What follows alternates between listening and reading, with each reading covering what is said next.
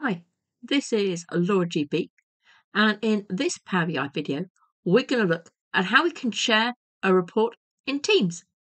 So here we are in our report, and we think we want to share this with a team. We want to share it in there. We don't want to make them come here. So how can we do that? So let's look at two ways. Firstly, from the report, you'll see there's a button at the top here that says Chat in Teams. So if I click on there,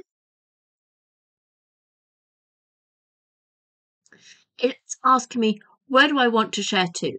So if I start to put into there 2023, there we are. We get a channel come up that says the general channel in my demo 2023 team. And I can say, take a look.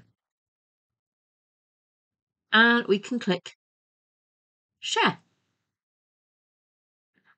So let's go and have a look at how that looks in Teams.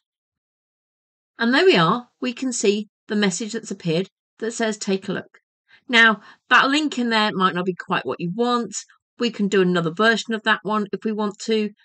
So we could do it from Teams. We could do a new conversation. You'll see there's a Power, BI, Power BI little logo down the bottom here, or we can go on the three dots and we could search for it there but I'm going to click as I've got the short link there and I can do it from Power BI here. We can then go to our sales report and we miss out the link this time. So same report sent from Teams. So that perhaps is a little tidier than the one above. But let's say we don't want to put it in as a post, we actually want it as something people can come back to because they spend their days in teams nowadays. We all do. At the top here, we've got a plus. So we click that, and you either can do a search for Power BI, but I've used it recently, so it's at the top here on my recents.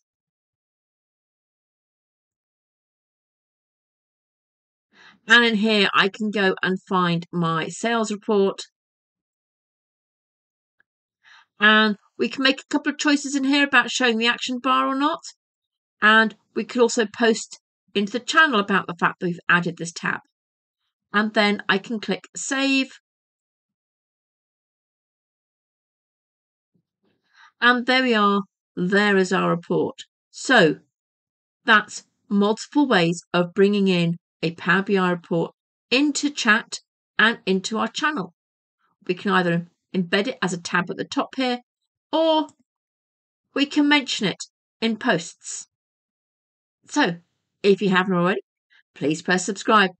Take care now.